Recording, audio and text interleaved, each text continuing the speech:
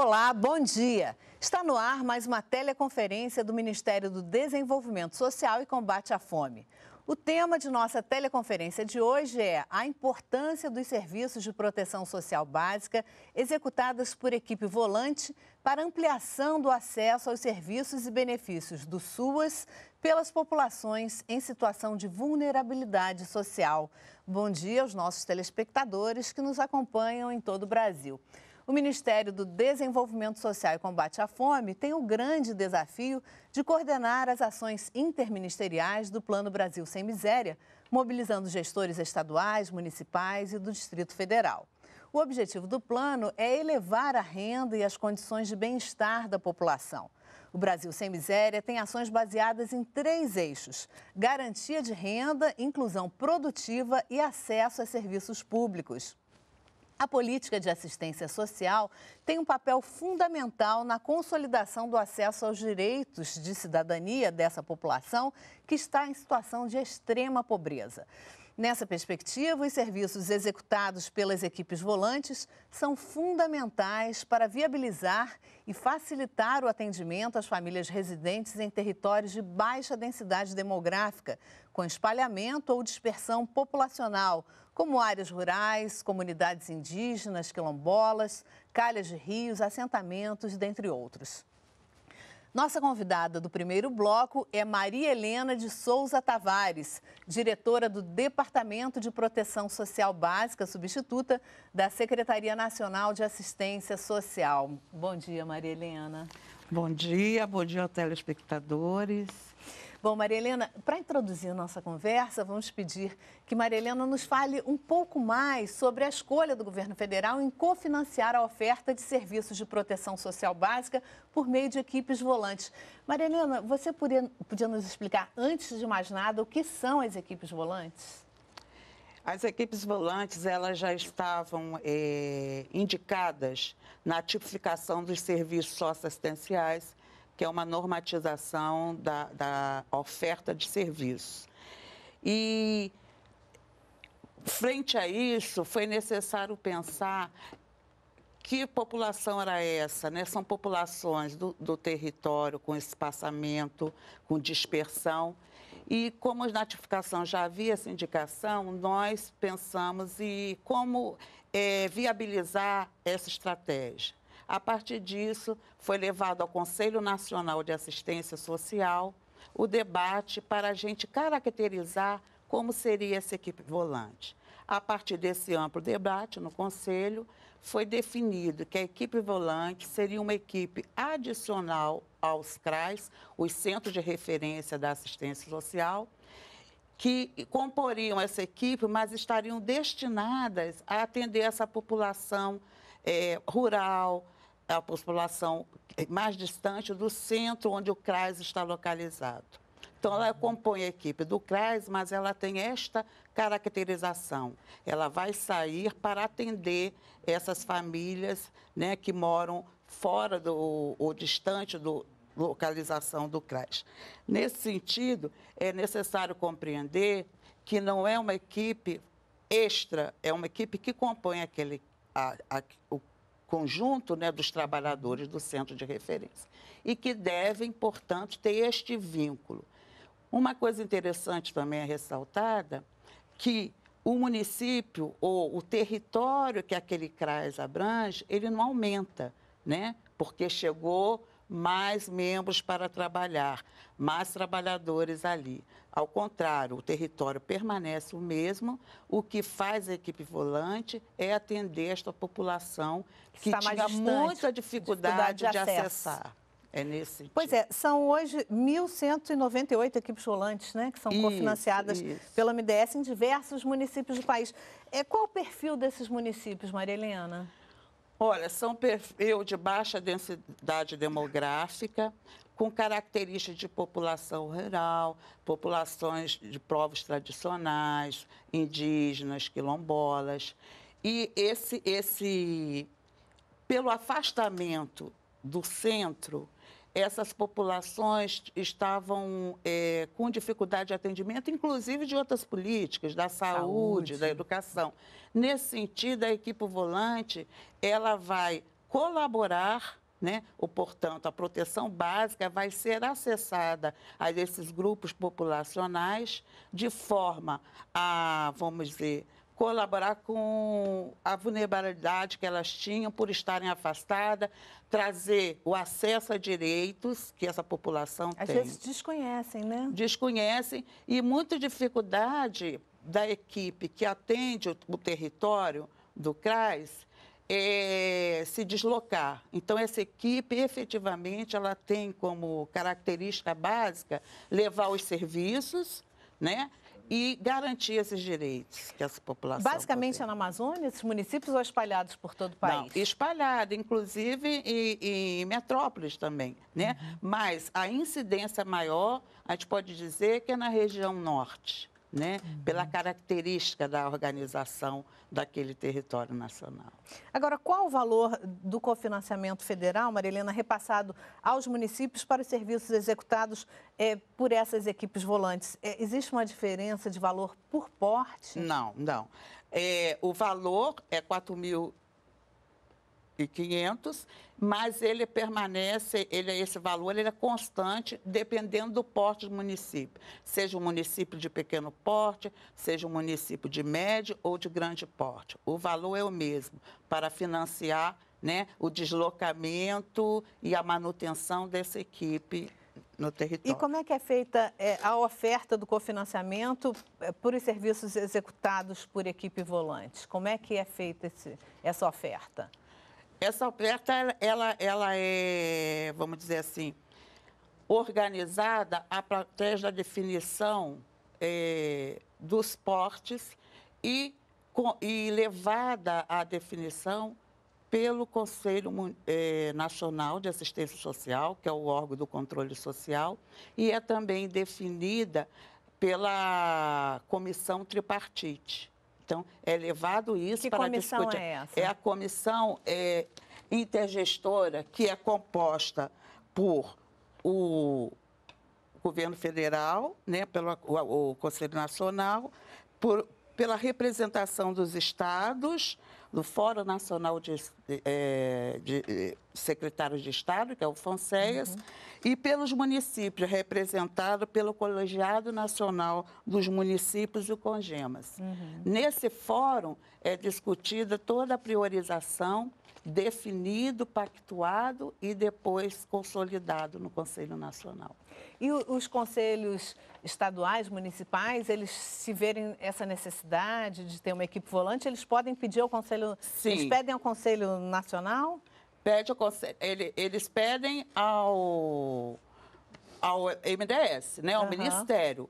E nessa, nessa forma de gestar a política de, de, eh, de Desenvolvimento Social, o MDS pactua com essa representação dos municípios e do Estado, que ele já vem dos seus fóruns municipais e, e estaduais com uhum. esses indicativos. Então, na CIT, que é esse, esse momento né, de discussão, são feitas pactuações, definidos critérios.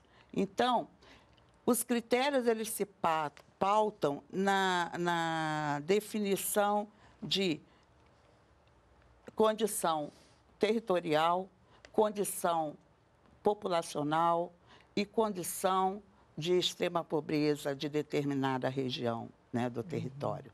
Esses critérios somam-se a outros técnicos e a gente vai definir a ordem de atendimento a quem pleiteia a equipe volante. Então, são critérios territoriais, populacionais e de vulnerabilidade que, que uhum. indicando que aquele território, aquela região tem índice de pobreza e aí é definida essa hierarquização de oferta do serviço da equipe volante. Quais são os, os locais é, prioritários, prioritários, mesmo, é, que mais né? necessitam. Agora, Marilena, o cofinanciamento dos serviços executados por equipes volantes dentro do Plano Brasil Sem Miséria, ele veio dessa necessidade, né? Como você uhum. falou, de alcançar essa população é, em situação de maior vulnerabilidade, é, proporcionar acesso a serviços dessa população tá Isso. que está mais é, distante, né?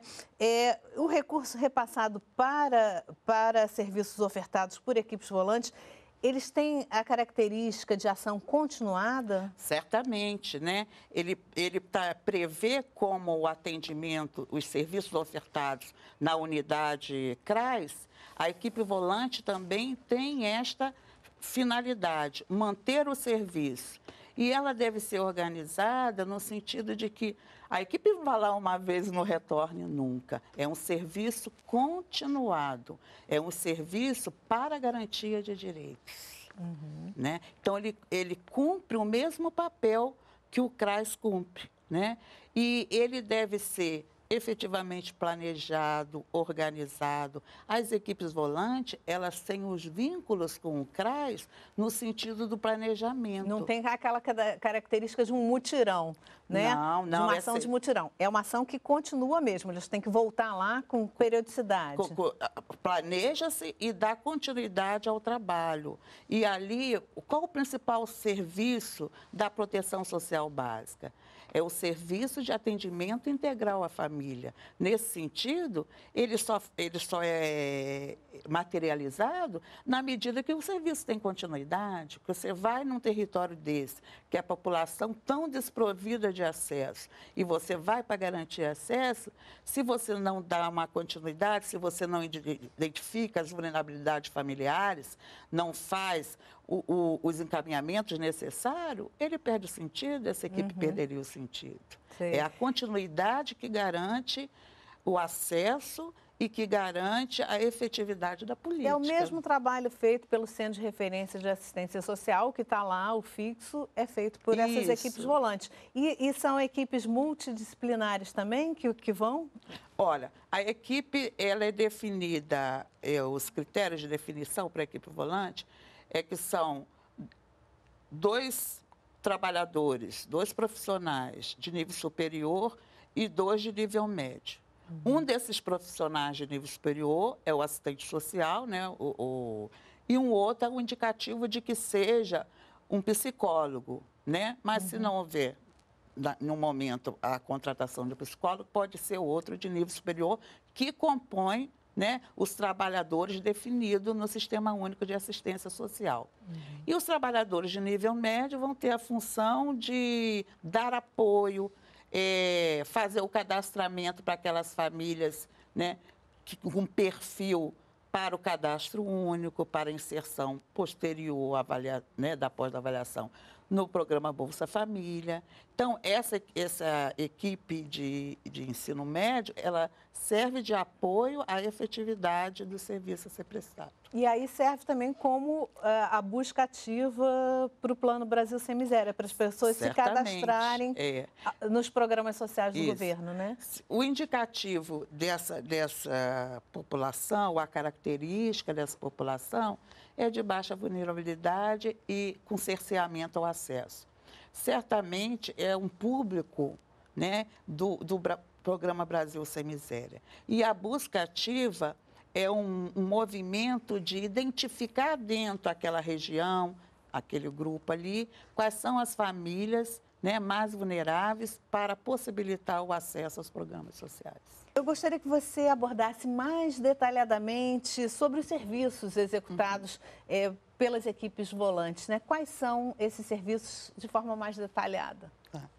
A função essencial da equipe volante é se deslocar para o território, né, como a gente já caracterizou antes. E nesse sentido, ela tem um vínculo com o CRAS, onde né, ela pertence, e ela vai se deslocar.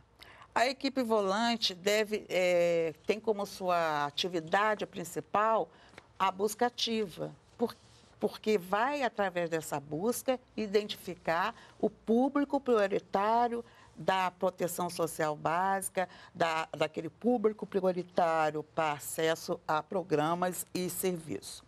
E ela deve também é, contribuir para a garantia de direito através de quê? Através do que está previsto na política de assistência social. O que, quais são? É, acolhida, acesso à renda, é, desenvolvimento de autonomia, possibilitar convívio familiar e comunitário. Então, essa equipe que se desloca, ela mantém ou ela deve garantir os pressupostos da Política Nacional de Assistência Social. Márcia, é, o Centro de Referência de Assistência Social possui uma equipe de referência né, para a oferta do serviço de proteção de atendimento integral é, à família.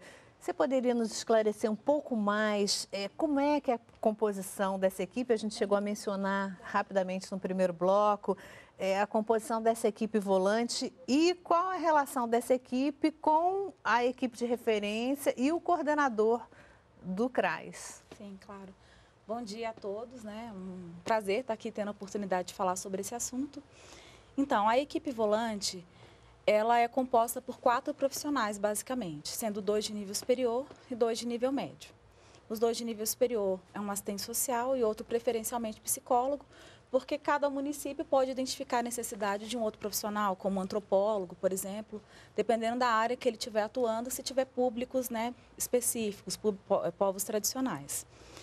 E aí essa equipe, ela não é uma equipe é, isolada, né? É uma equipe que compõe a equipe do CRAS, ela faz parte do CRAS. Então, necessariamente, ela precisa participar de atividades de planejamento, ela precisa participar de atividades de reunião junto com a equipe que está na base física, né, que está na unidade CRAS. E, inclusive, se o município identificar essa necessidade, essa equipe pode se revezar, a depender do perfil. Né? A Maria Helena citou os dois profissionais de nível médio. Se essa equipe ofertar o serviço de convivência, por exemplo, lá naquele, em determinado território, né, ela pode substituir o nível médio por algum que tenha um perfil mais de orientação social. Então, é importante que essas equipes dialoguem, porque elas, na verdade, é uma equipe só, né, uhum. com funções que muitas vezes podem ser coincidentes. Elas podem, é, não necessariamente só aqueles profissionais da equipe volante que vão se deslocar, eles podem fazer esse revezamento. Então, é, com relação ao coordenador do CRAS, é importante ter uma relação muito próxima com esse coordenador, porque ele tem a função de fazer a gestão do território. Então, ele precisa identificar, né, junto com a equipe, claro, quais são os serviços que têm presença naquele território, quais são as demandas da família. Então, quando a equipe volante vai a campo e ela identifica alguma situação que demanda encaminhamento para uma rede, por exemplo, a saúde, é preciso que essa equipe reporte ao coordenador do CRAS para que faça, estabeleça fluxos né, com, a, com a política de saúde ou outra política. Outras situações, por exemplo, né, como a gente acredita que muitas vezes é, dificilmente o poder público havia acessado esses locais onde as famílias estão, pode ser que ali esteja acontecendo alguma situação de violação de direitos. Então, é fundamental que essa informação seja reportada, né, seja, seja devolvida ao coordenador do CRAS para que possa haver articulação com a, com a proteção especial para garantia né, dos direitos daquelas famílias e para que não haja violação. Então, é um trabalho muito articulado, que Tem necessita de planejamento, mesmo. necessita de integração, né? E uhum. aí o coordenador precisa. Por isso que só pode ter uma equipe volante por CRAS, né? Porque se tivesse mais de uma, é, o coordenador do CRAS ficaria sobrecarregado com tantas situações né, que precisam de uma resposta. O encaminhamento deve ser efetivo. Então, é importante que ele não se sobrecarregue para ele conseguir dar né, dar respostas efetivas às demandas que a população apresenta. E de que forma o Ministério acompanha esses serviços que são executados por equipes volantes nos municípios? E também existem prazos para a implantação é, desses, tra desses trabalhos? Então, o MDS acompanha de uma maneira articulada também, né? É, quando, é, quando a gente oferta essa equipe volante para o município, isso, como a Maria Helena já explicou né, no primeiro bloco, é pactuado na CIT, no CNAS. A partir disso, o gestor municipal ele precisa fazer o aceite em sistema eletrônico. O Conselho Municipal também faz essa, esse processo, ele precisa aprovar esse aceite, então já é uma forma de ter controle social sobre o que o município está recebendo. Quando o Conselho também se manifesta favorável, isso, esse aceite compõe o plano de ação do município Né? Então, isso também é uma forma de dar transparência. E aí, o município precisa implantar e colocar efetivamente esse serviço para funcionar, contratar as equipes, dar a infraestrutura necessária. E ele precisa informar isso para a gente no módulo. Esse módulo eletrônico está disponível no, na página do MDS, na parte da proteção social básica. E depois desse processo, o Estado precisa, né, os entes estatais que, que compõem o SUAS, né, têm funções de fazer o monitoramento, o acompanhamento e o apoio técnico aos municípios. Os estados fazem visitas, fazem verificação e dizem, por meio de parecer para o MDS, se aquele serviço está sendo é, implantado, se está acontecendo da forma adequada. Então, basicamente, são essas formas e o MDS também faz um, um monitoramento dos sistemas. Os municípios, depois, mensalmente, precisam, é, precisam entrar num aplicativo chamado Registro Mensal de Atendimento e registrar quais atendimentos eles estão realizando, é, quantas famílias estão sendo atendidas, juntamente com o registro que é feito pelo CRAS. Né? Então, o registro da equipe volante acompanha o registro que o CRAS encaminha. Então, são várias etapas são várias para etapas. a implantação. E é um processo continuado, né? É, é uhum. É contínuo, a gente está sempre monitorando. Não tem um prazo rígido para é, isso? É, agora o prazo para a implantação, que é o primeiro prazo que eu falei, é, os municípios têm um prazo sim. Né? No caso dos municípios que fizeram aceite para a equipe volante da expansão do ano passado, de 2012, o prazo termina agora, no dia 31 de outubro. Então, é muito importante que aqueles gestores que ainda não tenham, não tenham feito o registro lá no módulo, no, no site do MDS, que façam isso, porque senão corre o risco de perder o cofinanciamento que foi oferecido. Marilena, você poderia Sim. falar um pouco quais são os principais desafios e dificuldades na execução desses serviços? É, o contato com gestores, com técnicos, a grande dificuldade é o deslocamento porque, como a gente vem é, frisando, né, o Brasil é assim, imensidão territorial e com tão diversidade populacional, deslocar para alguns locais é, é muito difícil acesso. E aí eles questionam ou reclamam ou se manifestam dizendo que a grande dificuldade são locais sem estradas, né? E, e os veículos às vezes não tem, é preciso né, ter o, o veículo para esse deslocamento. E uma outra grande dificuldade que gestores, eh, secretários apresentam e suas equipes é como utilizar o cofinanciamento. Eles não, não têm ainda, muitas vezes, o domínio de como fazer os gastos. Né? E aí é necessário realmente o apoio, os esclarecimentos do Fundo Nacional de Assistência Social, né? que é quem faz o repasse fundo a fundo para o, o, os municípios. Basicamente, essa parte operacional mesmo, Isso. de transporte e esse acompanhamento das contas, é, vamos é, dizer assim. É. E Precisa o, de uma de um apoio. De um apoio, de informação constante, né? Então, essa é a grande demanda dos municípios. Pois é, Márcia, a Marilena estava falando agora dessa questão do transporte. Né? As equipes volantes, elas possuem essa função estratégica de levar os serviços socioassistenciais em territórios que são sempre de difícil acesso. Que tipo de transporte pode ser utilizado né, para essa finalidade? Aí vai depender do território também, né? E de quem é a responsabilidade de disponibilizar o transporte para o trabalho das equipes volantes? Então, o transporte utilizado, como você mesma colocou, vai depender da região. Né? Nós, é, nós é, em alguns casos é necessário que seja algum veículo com tração nas quatro rodas, porque senão vai ter é, dificuldade vai de acessar, vai até lá, não vai conseguir chegar. A responsabilidade é da gestão municipal, mas nós sabemos que nem sempre é possível ter um carro exclusivo para que essa equipe se desloque. Então, é importante que, pelo menos, haja um, é, haja um cronograma para a utilização desse transporte para que a equipe consiga, ainda que não seja um carro exclusivo para essa equipe, mas que ela consiga realizar o trabalho. Uhum. Nossas convidadas do terceiro bloco são Márcia Viana, assessora da Secretaria Nacional de Assistência Social, e Dulce Helena Martins, diretora executiva substituta do Fundo Nacional de Assistência Social. Bom dia, Dulce Helena. Bom dia. Márcia, só continuando é, o que a gente vinha tratando no segundo bloco ainda, eu gostaria que eh, a gente ouve muito falar de equipe volante e de CRAS uh, itinerante, né, sendo de referência de assistência social itinerante. Há diferença nessas terminologias? Há bastante diferença, sim. A equipe volante, como a gente já falou no, nos outros nos blocos anteriores, ela é uma equipe que se desloca para ofertar o serviço.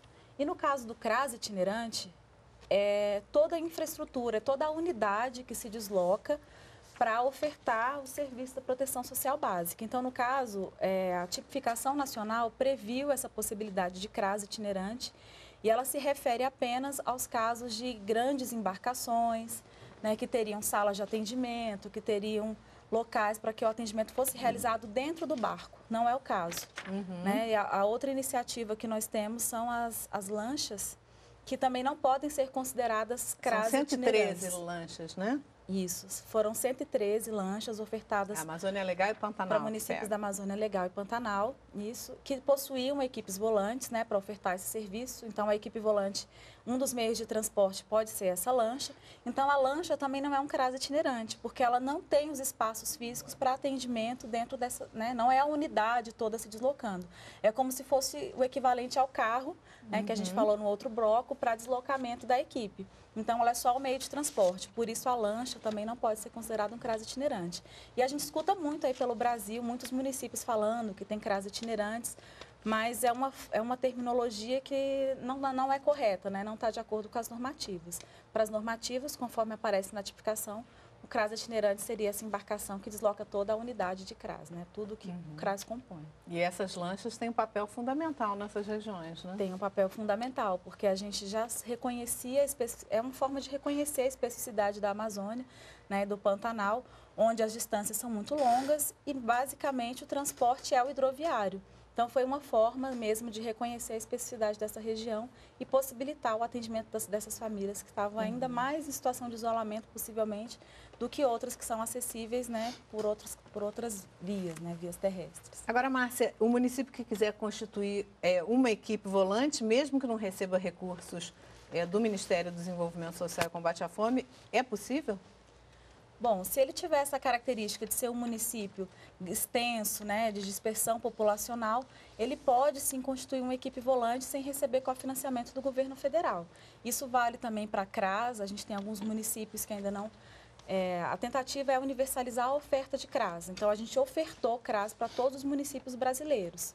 Né? Mas, no caso, algum município que tenha demanda maior, ele pode implantar com recursos próprios.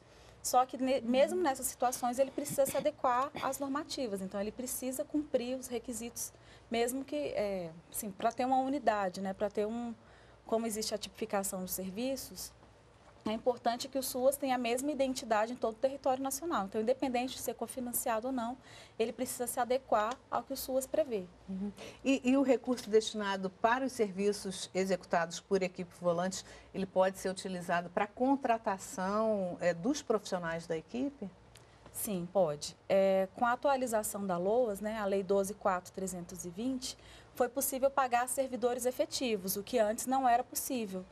Antes, apenas um serviço tinha essa possibilidade, que era o, o Projovem Adolescente, porque tinha uma lei específica. Agora, como todos os serviços do SUAS, né, principalmente o CRAS e o, e o PAIF e o PAEF, também estão previstos em lei, então é possível. Né? E aí o MDS é, soltou uma orientação destinando até 60% desse recurso para pagamento de, de profissional que tenha vínculo formal com a prefeitura. Então, é possível isso facilitou bastante. A gente acredita que isso, a longo prazo, vai gerar uma melhoria, né? porque vai possibilitar é, diminuir um pouco a rotatividade dos profissionais e garantir mais qualidade ao serviço. Agora, Dulcelena, além da contratação de profissionais, né, que outras despesas podem ser custeadas eh, com os recursos recebidos por equipe volante? Bom, são é, outros, várias outras despesas podem ser realizadas com, com, com esse recurso. Tudo vai depender do planejamento que é realizado. Né? Então, a resposta do que se pode utilizar com esse recurso, ela é respondida na fase até do planejamento. Quando se planeja uma ação, já tem que se prever os recursos, principalmente né, os recursos humanos e os recursos materiais. Então, no planejamento, você já vê a, a, a necessidade, quais são as despesas que você vai necessitar de, de, de realizar para ofertar aquele serviço. Então a gente tem, a gente pode dar como exemplo, a, a, voltando à questão até do, do, do meio de locomoção, pode-se é, fazer locação de veículos. Naqueles municípios onde a, a frota é insuficiente própria do município e onde também o compartilhamento da, de, desses veículos é, geraria algum tipo de transtorno, deixaria alguma equipe descoberta, pode haver também a, a alocação de veículos também e todo o material necessário, com combustível, com deslocamento da equipe. Então, a gente só chamaria atenção, mais uma vez, que ainda se, se no planejamento, que se colocasse essas despesas vinculando as despesas de custeio, não de, de investimento nessas equipes. Tá? Então, aqui é só para a manutenção mesmo da oferta do serviço. Esse planejamento, então, é muito importante ele ser bem feito, né? Com certeza. Tanto que no primeiro bloco, a, a, a Maria Helena já falou então da, da parte do planejamento. O planejamento é essencial em todas as fases. Né? Então, quando se faz o planejamento, ele é importantíssimo, tanto para a oferta do serviço, porque você, para ofertar o serviço, você tem que já estar tá prevendo as despesas que vão te garantir né? as estratégias. Para você atingir as estratégias, para você atingir o objetivo, você necessita ter gastos. E que tipo de gastos são esses? Ele, ele tem que estar tá previsto já dentro de um planejamento. Agora, Márcia, para os municípios que receberam recursos para a implantação dos serviços executados por equipe volantes e não cumpriram o prazo, não implantaram é, no prazo estabelecido, o que eles devem fazer? É, no caso, os municípios da expansão 2011 já perderam prazo de implantação, né? Que eu falei que os da expansão de 2012 ainda tem prazo até o final desse mês. Então, eles precisam devolver o recurso porque o recurso é repassado para a execução e para a implantação do serviço. Então, no caso dessa não implantação, eles precisam prestar contas desse, desse, desse valor recebido. Agora, Dulcelena, é, como é que os municípios, esses que não realizaram né, essa implantação uhum. das equipes, eles devem é, fazer para devolver esses valores recebidos? É, primeiramente, a gente diz que é uma insatisfação muito grande a gente receber esse recurso de é volta, né?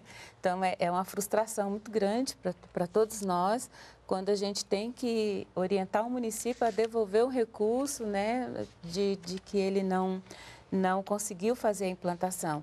Então, nós trabalhamos de forma, do Fundo Nacional, nós trabalhamos de forma integrada com o departamento. Então, o Departamento de Proteção Social Básica, ela encaminha uma nota, uma nota técnica, ou um ofício, ou um despacho para uma para o Fundo Nacional, dizendo a, com a justificativa, e nós encaminhamos um ofício ao, ao município com as orientações com o modelo, porque ele deve é, fazer esse, essa devolução desse recurso por meio de uma guia de recolhimento da União, por meio de GRU. Uhum. E como é que se operacionaliza a prestação de contas desse recurso? Bom, a prestação de contas desse recurso ela é, ela é feita nos moldes de todos os outros recursos que são transferidos na modalidade, né? fundo a fundo, por meio do demonstrativo. E ele onde o, o, o município ele, te, ele vai dizer o quanto foi que ele já vem, a gente já o quanto que ele teve de receita, o quanto que ele recebeu desse recurso e ele vai colocar ali os, os gastos que ele teve. Então, é importante a gente dizer também que ao, ao, ao, longo de um exercício, né, porque a prestação de contas ela é anual, ao longo desse exercício, que se organize também essa área da gestão para que se tenha todos os, todos o, o, para que se tenha todos os processos de pagamento, que se tenha organizado para é, todas as despesas que foram realizadas, para que quando chegue essa fase do, do, da, da prestação de contas, não se tenha nenhuma dificuldade em dizer o quanto que foi executado com recurso do cofinanciamento federal. Este bloco será destinado a responder as perguntas enviadas por você, telespectador. As dúvidas serão respondidas por Márcia Viana, do Departamento de Proteção Social Básica, e Dulcelena Martins, do Fundo Nacional de Assistência Social.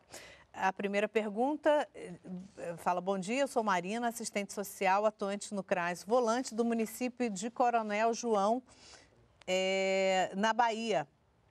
A minha dúvida é quanto ao desenvolvimento desse trabalho.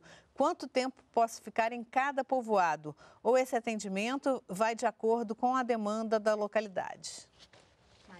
Marina. Marina, ótima sua pergunta. É... Isso também depende do planejamento que foi realizado. Né? Como foi colocado já, a área de atendimento desse CRAS continua, né, dessa equipe volante, é a mesma do CRAS, ela não se amplia. Então, é preciso saber, a partir de diagnósticos, qual é a realidade desses territórios. Tem famílias com crianças? Tem famílias com idosos? Quais são as situações é, de vulnerabilidade e risco né, que atingem esses territórios? A partir disso, é possível identificar, inclusive, também as potencialidades ali daquela, daquela região, daquele território. A partir disso, é feita a identificação de quais serviços vão ser ofertados como já foi colocado também, vai ser só o serviço principal, vai ser só o PAIF, ou vai ofertar serviço de convivência, vai ter serviço no domicílio, porque foi detectado, foi identificado que aquele território tem presença de pessoas com deficiência, sim ou não, idosos ficando né, sozinhos situação de isolamento. Então, tudo isso depende do diagnóstico. E aí, o quanto tempo o município vai ficar, né? Quanto tempo as equipes vão ficar em cada localidade, isso é definido a partir da, da necessidade no local é, a partir do MDS é impossível a gente dizer isso. Então, isso depende do planejamento, da organização, mas o que é muito importante é que haja um cronograma claro para a população que está sendo atendida de quando que essa equipe vai retornar. Porque é muito complicado a gente falar que é um serviço continuado e essa equipe vai uma vez e a população não faz ideia de quando que essa equipe retorna. Então, é, é importante que se diga quando vai retornar, é importante que se diga qual é o telefone que a população pode acessar, pode ser da sede, né, da unidade física do, do CRAS, para que essa população não fique desassistida enquanto a equipe volante está em outros territórios. Então, essa pergunta é importante para mostrar quanto é importante o planejamento e o envolvimento do, da coordenação do CRAS, inclusive, para a organização desse trabalho com maior efetividade Então, depende possível. da demanda mesmo. Depende da demanda da organização. Não tem um prazo fixo que, que, que a equipe possa ficar em cada, em cada localidade, né? Só é importante que seja sistemático, uhum, que ela Que esteja ali no planejamento. Isso. É, Dulcelena, é, João Luiz de Pernambuco ele pergunta: aqueles municípios que já recebiam recursos no ano passado e não utilizaram todo o recurso ah, recebido, o que podem fazer? É possível reprogramar os recursos e como? Sim, é possível, né? A reprogramação ela já, já está prevista nos, nos, nos, nossos normativos, até porque esses, esses recursos eles são executados por meios de fundos e já está até previsto em lei, na Lei 4.320, que esses recursos que, que são incorporados aos fundos, eles continuam, depois que é, passa o exercício, eles, são, eles continuam na, nas contas né, desse fundo para serem utilizados. A gente só pede para que seja observado algumas regras, né, que o serviço ele teve que ele no, no exercício passado ele teve que ter sido ofertado de forma continuada, sem interrupção, tá? E observar bem a, a finalidade, não tem ter desvio de, de, finalidade. Se ele recebeu o recurso é, para a proteção social básica, que ele tem que ter aplicado na proteção social básica, mas que pode sim haver a, a reprogramação. E a reprogramação é importante que, mais uma vez falando do planejamento, que ele planeje em que, que vai ser utilizado esse recurso.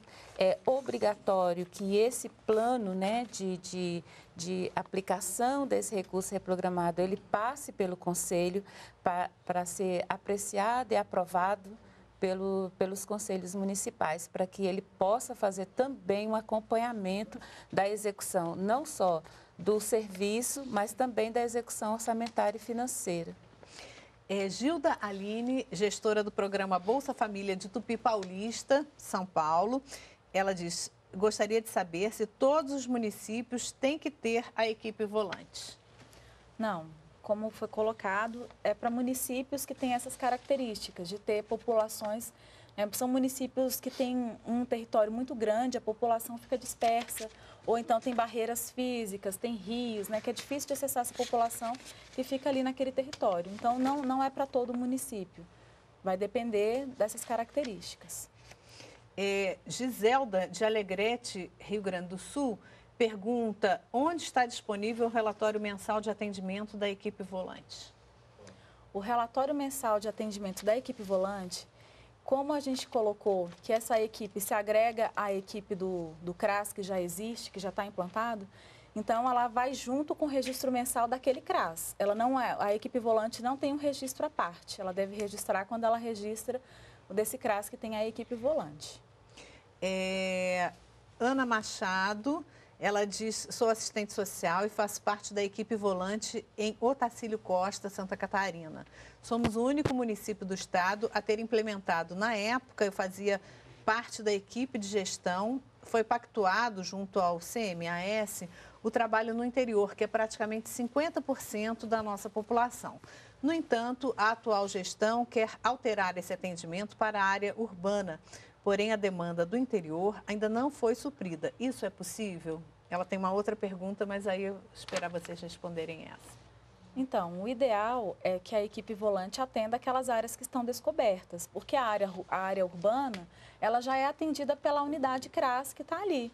A população consegue acessar, a, as equipes também que estão naquele CRAS, elas podem fazer visitas, podem fazer busca ativa na área urbana. Então, o ideal é que continue nesse trabalho para que a população que está é, sem acesso aos direitos, sem acesso às políticas públicas, possa ser atendida. Bom, ela também pergunta, segundo as orientações, o trabalho da equipe volante deve ser 75% em atendimento junto à população e 25% planejamento. No entanto, em nosso município, só conseguimos atender essa população duas vezes por semana. É, talvez essa dificuldade, eu não sei qual é, qual é a situação desse município, mas pode ser que porque não tem transporte. Né? Então, entra naquela questão da dificuldade, uhum. talvez, né, do município conseguir otimizar melhor os, os recursos, porque, de fato, é, a ideia da equipe volante, a principal função é a buscativa. Né, é que a equipe saia do CRAS e vá atender a população que tem necessidade de ser atendida fora dali. Né? Então, uhum. o importante é que, que esse gestor né, saiba né, da especificidade dessa equipe, e possa estar atento a isso para garantir a efetividade do trabalho, garantir que os profissionais possam sair para fazer os atendimentos, às vezes em mais de uma comunidade. Tem municípios que têm uma área rural super grande que necessita desse trabalho. Então é importante que o gestor tenha essa, essa consciência de que é importante que ele dê condições de trabalho para essas equipes, né? que elas uhum. consigam se deslocar. Dois dias talvez não seja mesmo suficiente, possivelmente não é. Eudes Santos, assistente social de Potiraguá, Bahia, é, é uma pergunta para a Dulce Helena. Ele diz: sou técnico do município de Potiraguá, no interior da Bahia. Em 2011, o município foi contemplado com a implantação de uma equipe volante. O aceite foi feito pelo gestor e pelo CMAS, Porém, a equipe não foi implantada e o município recebeu o cofinanciamento referente a três meses. O gestor alegou que não conseguiu profissionais para a equipe e ressalto que o município tem população formada por aproximadamente 38% de população rural. Qual o processo para a nova gestão buscar a implantação da equipe volante, uma vez que já foi oferecido ao município, mas não foi implantado? Como fica o cofinanciamento que já foi repassado ao município? Bom, essa, essa pergunta temos que responder em conjunto, na, em conjunto né? Ah, é, como já foi falado, essa, esse, é, essa, esses aceites né, de 2011, já, o recurso, infelizmente, vai ter que ser vai, vai, ter que ser devolvido. Né? Então, a gente vai, se, se ainda não foi, deverá ser, né? Então a gente vai, o, município vai, ele pode tanto devolver esse recurso por demanda espontânea ou pode aguardar o ofício do Fundo Nacional orientando de que forma ele pode é, estar devolvendo por meio da GRU, porque a maioria dos municípios já sabem como acessar né, a, a página lá do, do, do, Ministério da Fazenda e preencher o guia de recolhimento, ou então é, mandar um, um, um e-mail para o é. É,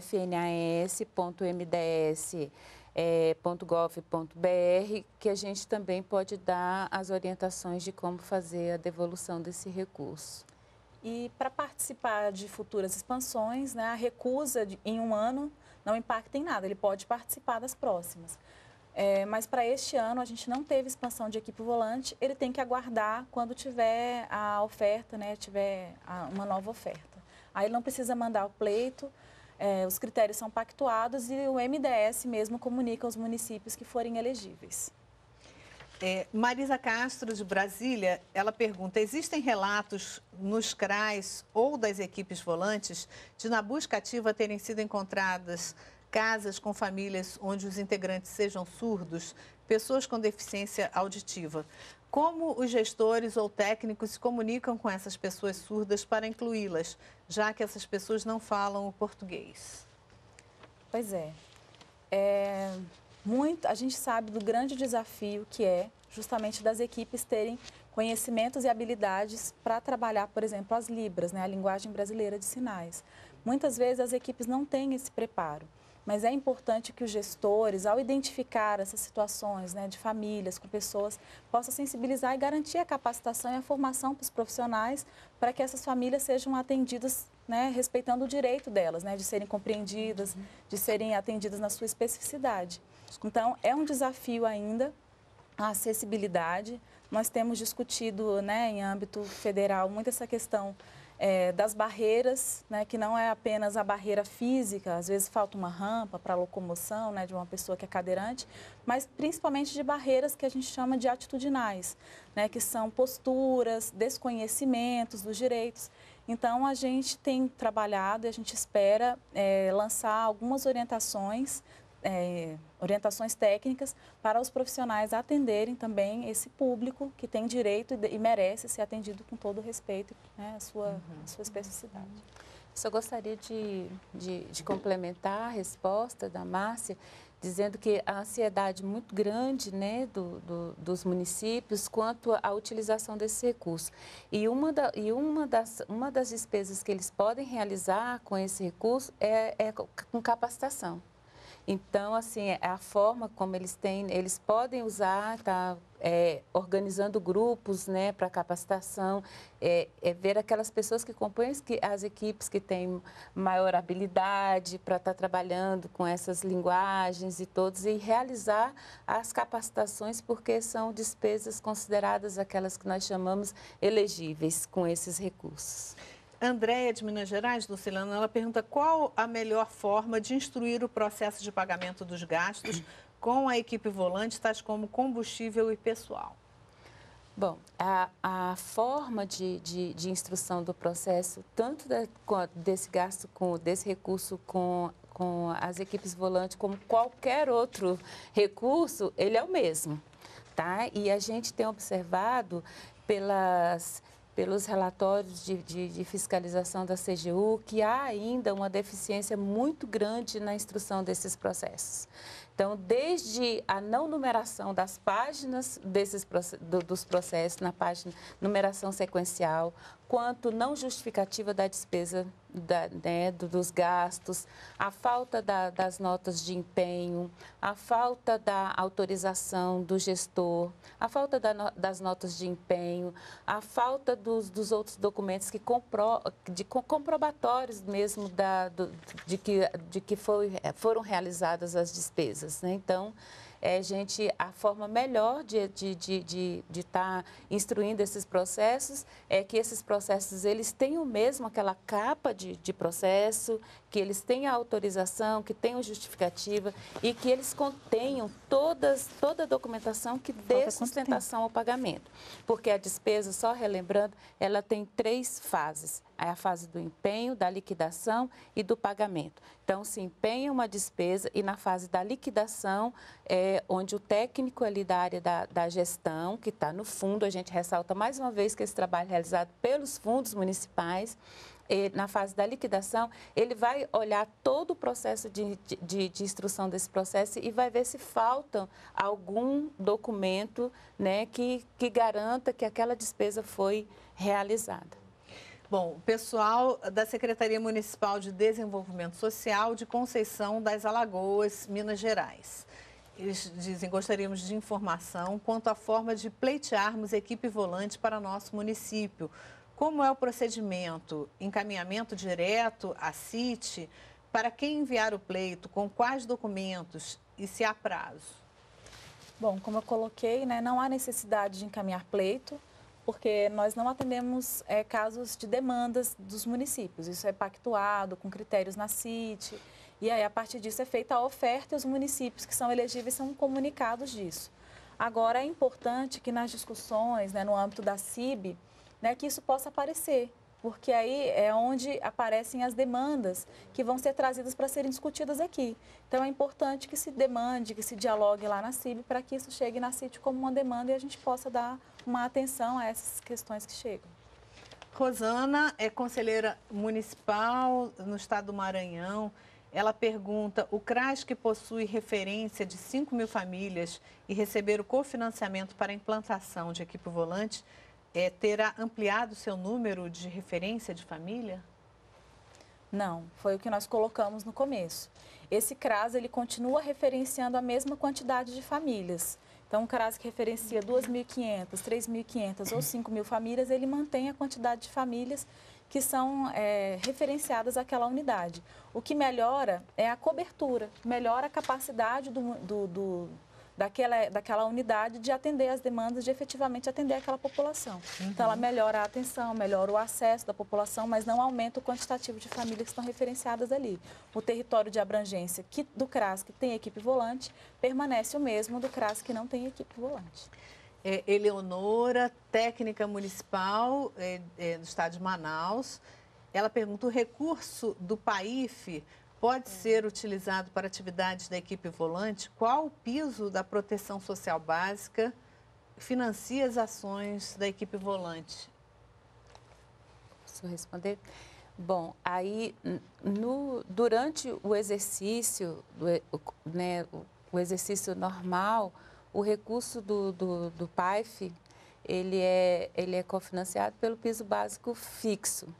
Né? E o outro da equipe volante, a, é, a gente dá cofinanciado pelo piso básico é, variável equipe volante. Então, durante o exercício, eles, eles são utilizados para essa, essas finalidades distintas.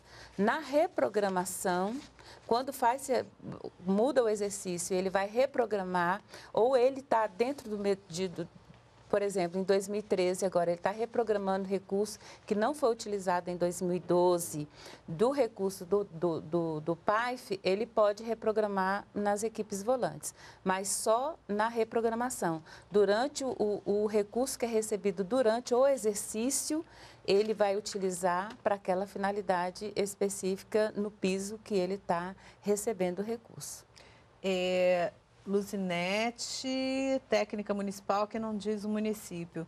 Ela diz: em meu município ainda não existe um CRAS e temos grande extensão territorial rural com dispersão populacional. Esta equipe volante poderá ser alocada junto à Secretaria Municipal de Assistência Social? Bom, como nós também colocamos, a equipe volante, ela não deve substituir um CRAS. Não é essa a função dela.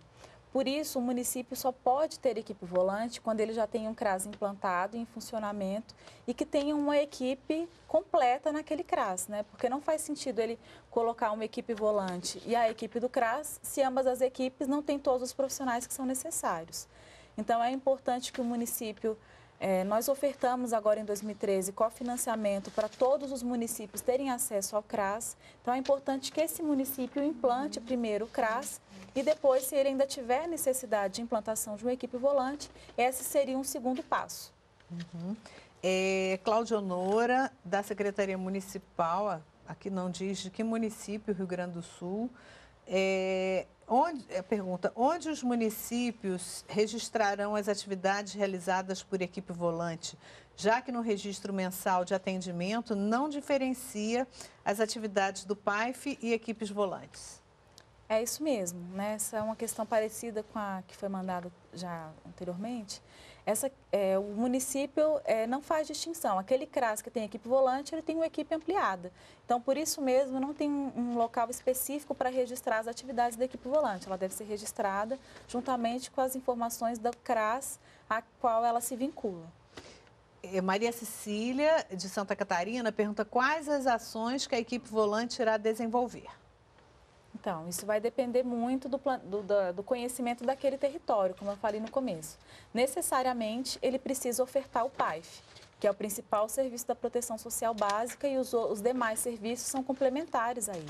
Então, ela vai ofertar o PAIF e, a depender da necessidade daquele território, ele pode levar outras ações, pode levar ações de apoio ao cadastro, pode levar outros serviços, como o serviço de convivência e fortalecimento de vínculos, quando for identificada a demanda a crianças, a um número significativo de crianças, ou adolescentes, ou idosos, né, que demandam esse, esse trabalho mais direcionado para a faixa etária. Então, isso vai depender não, foi encontrado a partir do diagnóstico, a partir dos dados do cadastro único, que é um grande número de pessoas com deficiência ou idosas. Então, pode levar ao serviço no domicílio, que é um serviço de um cuidado mais direcionado para pessoas que estão em situação de isolamento, são idosas. Então, isso vai depender do que foi identificado naquele território. É, Mariana, de São Paulo, ela técnica municipal, ela pergunta: as atividades desenvolvidas pelas equipes volantes se caracterizam apenas como visita domiciliar? Não. É a visita domiciliar, ela é na verdade um procedimento que tanto as equipes que estão na unidade do CRAS quanto as equipes volantes vão utilizar dependendo do que for, é, dependendo do trabalho que está sendo realizado. Quem vai identificar se faz visita ou não, se faz um outro trabalho, possivelmente é a própria equipe. Agora, como se trata de área rural, é, possivelmente atividades mais coletivas sejam mais difíceis, justamente porque é uma população que está em fazendas, em sítios, às vezes é difícil se locomover para um local. Né? Agora, é importante que esse seja o foco. Né? Apesar de saber que as visitas, né, o atendimento domiciliar seja mais, possivelmente sejam mais comum, que se trabalhe para tentar garantir também a convivência comunitária. Então, mobilizar essas famílias para alguma ação coletiva que seja realizada em algum espaço, Nessa equipe, ela precisa de ter um espaço onde ela atende. Então, pode ser espaços públicos, cedidos, ou até mesmo espaços privados, desde que em comum acordo com todas as famílias. Então, ela pode utilizar esse espaço para fazer atendimentos mais coletivos. Mas a visita domiciliar, ela é um procedimento, tanto para a equipe que está no CRAS, quanto para a equipe que está atuando na equipe volante. Bom, uma última pergunta é de Maria Aparecida, técnica municipal do estado da Bahia. É, meu município realizou o aceite para a oferta dos serviços executados por equipes volantes em 2012. Qual o prazo final para a demonstração? Então, essa pergunta é ótima porque a gente está encerrando o prazo. Como eu falei, encerra agora em 31 de outubro. Então, o município que ainda não implantou tem que correr para implantar, para não perder esse recurso, esse cofinanciamento e ficar na mesma situação dos municípios de 2011 que estão tendo que devolver. Então, é uma situação que a gente não, não gostaria que acontecesse, então que o município corra, implante e demonstre essa, essa implantação no sistema que eu mencionei no segundo bloco. Bom, nosso tempo chegou ao final. Eu vou passar a palavra a vocês para as considerações finais vocês, o recado final do Selena, uhum. por favor. Bom, dizer primeiramente que foi um prazer muito grande participar e relembrar mais uma vez a, a todos que, no, que, estão nos assistindo agora e que vão assistir, e os outros que vão assistir depois, né, que sempre é, primar pelo, pelo planejamento e pela organização da, da, da, área da gestão, pela organização do espaço fundo municipal né, de assistência social, pela, pela área da execução financeira, orçamentária e sempre, e sempre junto com a área de, de contabilidade, porque todas essas dificuldades que a gente tem na área, na, na, na fase dessa dessa, dessa realização dessas despesas, muitas delas nós observamos que é a falta de uma organização de uma equipe que cuide dessa parte, que ajude a, a, a, a equipe que oferta o serviço no planejamento dos gastos. Então, que a gente, é que eles possam se organizar, que eles sentem para fazer o planejamento juntos, né? para que a gente possa cada vez mais está aperfeiçoando o nosso serviço e levando esse serviço tão importante às pessoas que dele necessitam. Muito obrigada, Dulcelena. Márcia. Bom, também agradecer pela oportunidade né, de estar aqui dialogando com os telespectadores, inclusive, né, que mandaram as perguntas. Nós consideramos que esses momentos são fundamentais. É, dizer, principalmente para os profissionais que atuam nas equipes volantes, né, que é um trabalho muito desafiador. Eles entram em contato com realidades, muitas vezes, que antes é, tinham muitas coisas ali que estavam escondidas, né? Situações, às vezes, de violação de direitos, situações, muitas vezes, de não acesso a direitos, às políticas públicas. Então, que é um trabalho muito fundamental, é uma estratégia importantíssima do SUAS, é uma forma do SUAS também dar visibilidade para públicos como quilombolas, indígenas, né? Que historicamente são excluídos de processos é, mais é, excluídos dos processos da, da, sociedade, das oportunidades. Então, dizer assim que é, uma, que é um desafio, que é um trabalho que é muito importante para o SUAS, né, que é muito importante o apoio da gestão municipal para que esse trabalho possa ser efetivo. Então, os gestores têm a função de garantir articulação de rede, de garantir condições dignas de trabalho, de garantir meios de locomoção. Então, que é importante que eles saibam também né, que podem contar com todo o apoio das equipes estaduais, que estão ali para dar apoio técnico. Né? O MDS também está sempre à disposição, eles podem entrar em contato conosco, eles têm nossa, nosso contato. E dizer assim, parabenizá-los por esse trabalho de estar efetivamente implantando SUAS e efetivando direitos e agradecer né, a oportunidade de estar aqui dialogando com vocês. Obrigada, Márcia. Uhum. Obrigada, Dulcelena. Obrigado a todos que nos acompanharam em todo o Brasil. O Ministério do Desenvolvimento Social e Combate à Fome agradece a parceria com a NBR e volta em breve com mais um encontro. Nós ficamos por aqui, lembrando que as suas dúvidas podem ser esclarecidas pelo 0800 707 2003. Um bom dia para você.